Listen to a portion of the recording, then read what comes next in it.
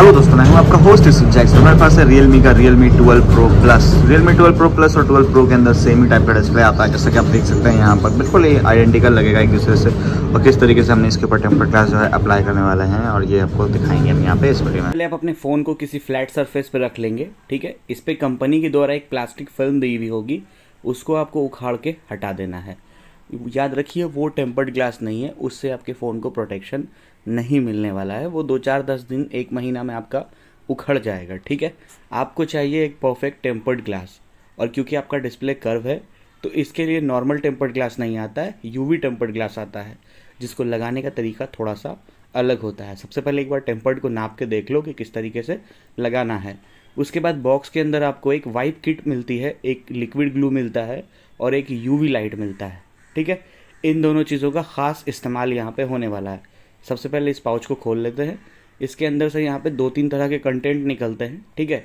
सबसे पहले आपको वेट वाइप निकलेगा। वेट वाइप से यानी कि ये गीला होगा। बाई चांस अगर ये सूखा निकल जाए तो कोई दिक्कत नहीं है।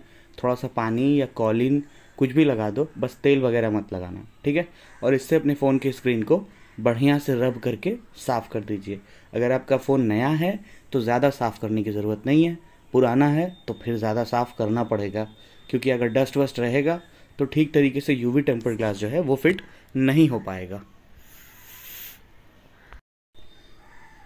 उसके बाद जो है, यहाँ पर आपको डस्ट स्टिकर छोटे छोटे अब्जॉर्वर मिलते हैं। इसको आप अपने फ़ोन के ऊपर में और नीचे में लगा दोगे, जहाँ पर के स्पीकर के होल होंगे। ठीक है, जो भी होल होगा, उस पर लगा देना।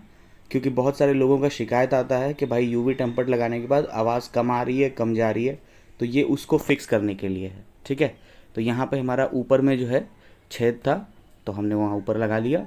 नीचे में हमने नहीं लगाया। एक बार और बढ़िया से पोछ लेते हैं। उसके बाद आप याद रखिए यूवी टेम्पर्ड क्लास के पीछे एक फ़िल्म होगी पतली सी, उसको आप फ़ोन से थोड़ा हटा के रिमूव कीजिएगा, ठीक है? क्योंकि फ़ोन पे अगर लगा के रिमूव करोगे तो हो सकता है कि उससे कुछ डस्ट गिर जाए फ़ोन के ऊपर। अब जो हमारी ग्लू की बोतल थी, उसको अपने फ़ोन के स्क्रीन पे आप डालिएगा, ठीक है? डालने के बाद देखिएगा कि वो बायां दायां तो नहीं भाग रहा है। अगर वो बायां दायां भाग रहा है खुद से तो मतलब कि आपका फ़ोन एकदम सही फ्लैट सरफेस पे नहीं रखा हुआ है, ठीक है?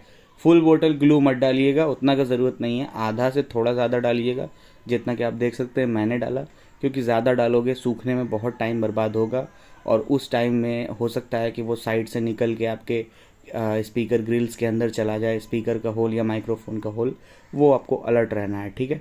और उसको बायां दायां फेरना नहीं है, ठीक है? एक बार आपने यूवी टेम्पर डिस्प्ले पर रख दिया, फिर आपको उसको उखाड़ना नहीं है, ठीक है? नॉर्मल टेम्पर्ड ग्लास में हम लोग उखाड़ के दोबारा लगा देते हैं, यहाँ नहीं होगा। अगर आपको लगता है कि कहीं थोड़ा सा टेम्पर्ड ग्लास ऊपर नीचे हो गया है तो एक फिंगर रख के उसको ज़रा सा ऊपर ज़रा सा नीचे की तरफ़ आप हिला देंगे, जैसा कि आप देख सकते हैं, मैं यहाँ पे कर रहा हूँ। वैसा करने से क्या होगा? सारा का सारा एयर पार्टिकल ऑटोमेटिक निकल जाएगा। देख सकते हैं आप, मैं हल्के हल्के इसको हिला रहा हूँ, जिससे कि हमारा एयर का पार्टिकल जो भी है, वो निकल गया। आप देख सकते हैं आप, हो गया पूरा कंप्लीट अब इसके बाद आपको इसको सूखने के लिए छोड़ना है, लेकिन ऐसे नहीं छोड़ना है, ठीक है? अगर यूवी ग्लू कहीं से आपको निकलता हुआ दिख रहा है तो आप उसी वक्त पोच दीजिए, कोई दिक्कत नहीं है, वो साफ़ हो जाएगा। बाद में भी रबड़ की तरह निकल जाता है, ऐसा कोई दिक्कत नहीं होता है। बहुत सारा मिथ है इसके ऊपर कि इससे प्रॉब्लम होती है, ऐसा कुछ नहीं है। इजीली रिमूव भी हो जाता है, कोई दिक्कत नहीं है, ठीक है? अब आपको यूवी लाइट इसके ऊपर कंटिन्यूसली 10 से 15 मिनट के लिए मारनी है। अब ये आपके ऊपर है, आप यूवी लाइट 10 मिनट मारो 15 मिनट मारो, जब तक ना सूख जाए, तब तक मारते रहना, ठीक है?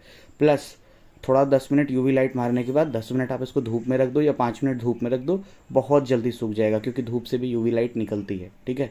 यहाँ पे जैसा कि हम कर रहे हैं, ऊपर नीचे ऊपर नीचे इसी तरह आपको जो है अप्लाई करना है और टेम्पर्ड ग्लास जब आपका पूरा फिक्स हो जाए, सूख जाए तो वो जो हमने स्टिकर लगाया था नीचे में, ऊपर साइड में, उसको रिमूव कर दें यूवी टेम्पर्ड लगाने के बाद कुछ इस तरीके का लुक आ रहा है। देख के पता ही नहीं चलेगा कि यूवी टेम्पर्ड ग्लास लगा है। इस तरीके से आप घर बैठे खुद से अप्लाई कर सकते हैं।